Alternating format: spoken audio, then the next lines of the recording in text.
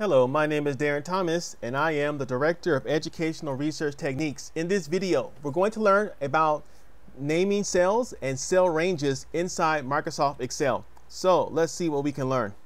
So I'm here inside Microsoft Excel and there are times where we want to try to save information that we're going to use all the time. So it's going to be like an absolute value, if you will. And so let me demonstrate this instead of talking theoretically. So let's say I have the base and the height of something and I want to use these values, so 10 and 12. Now I can type in 10, 12, 10, 12 over and over again, or I could do something called naming the naming this particular cell. So what I do is I highlight the cell that I want to name, and then if you look to the left of the formula bar, here's your formula bar right here. If you look to the left, you'll see a C2. I could change this C2 to whatever name I want. So I'm going to call this base. And so now, whenever I refer to the, to the name base, it'll refer to this particular cell C2. Same thing can be applied for the C3 where I'm going to change this to height.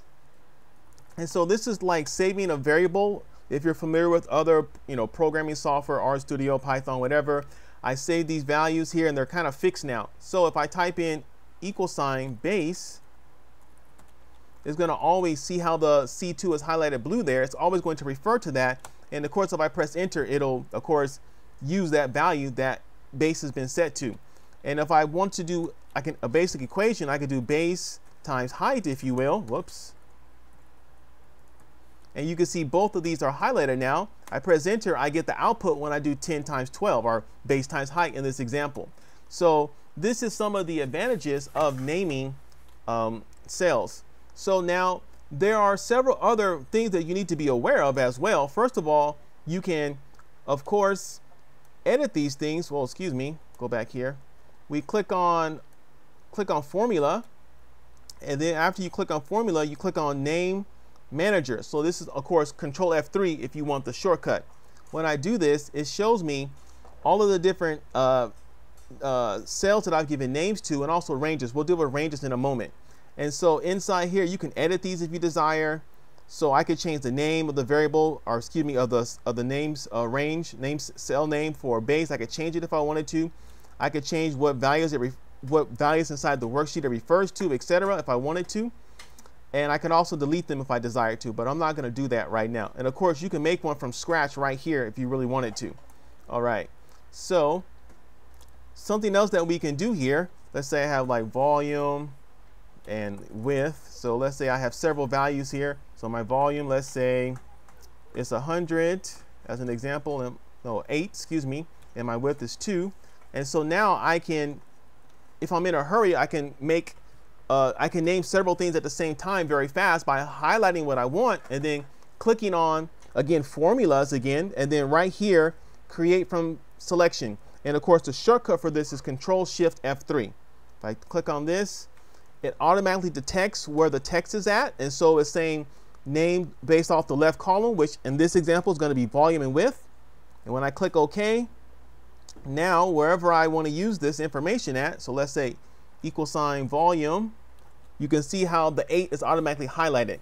So Microsoft Excel has automatically created, I guess you can call it a variable for simplicity's sake, uh, a variable that has set VOL to 8. I press enter and the information is right here.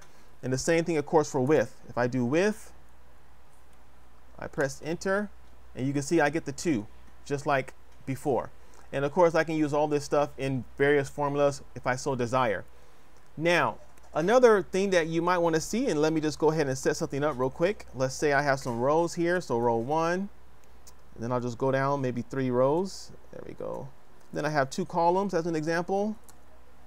Just drag across here. Okay, and then I'll just put in some funny data here. This is just made up. You can also name entire tables if you desire. So I highlight all this right here and I go through the same process. I just give it a name. So we're just going to call this data and it's locked in. And so whenever I refer to data, it's going to automatically pull this information. So you can see when I type in data, everything's highlighted. And of course, it puts the information here if I really wanted it to. And I can always edit this. For example, I can leave out the text. Let's say I don't want the text anymore. I can edit that if I desire and just have the data right here. Okay, so those are some of the really, really neat features that we can use for naming cells inside Microsoft Excel. Now, one more thing that I need to show you is if you press F3 by itself, it'll pull up a little table here called uh, paste name, and it gives you access to all of your little um, friends right there, and you can paste them into the um, to the worksheet if you so desire. But we're not going to do that. So this is the real advantage of naming cells and cell ranges. When we're talking about ranges, we're just talking about more than one row or maybe more than one column or more than one row and more than one column. And when we're talking about a cell, we're just talking about one individual cell like C3, B2, etc. And that is basically how this works inside Microsoft Excel. So this is very valuable when your documents begin to get very complicated or when you find yourself referring to the same values over and over again and you're looking for a way to give yourself a shortcut and save time, this is where this comes in handy. In addition, when you want to, when you have absolute values that never change, this is where this can also help you because you know we have relative values and also absolute values. Relative change as you move throughout the document where absolute stay fixed. But anyway, my name is Darren Thomas. I am the Director of Educational Research Techniques. Thank you for watching and take care.